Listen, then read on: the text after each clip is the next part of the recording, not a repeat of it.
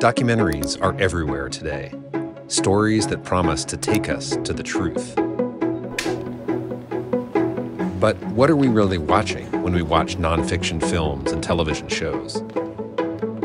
How documentaries work takes you behind the camera to reveal how your experience is constructed, shot by shot by shot. From the lighting in an interview that affects how you feel about the characters, to the music that choreographs your emotions. Written by a Peabody Award winning editor with the collaboration of some of the top documentary craftspersons working today, How Documentaries Work will change the way you look at documentaries forever.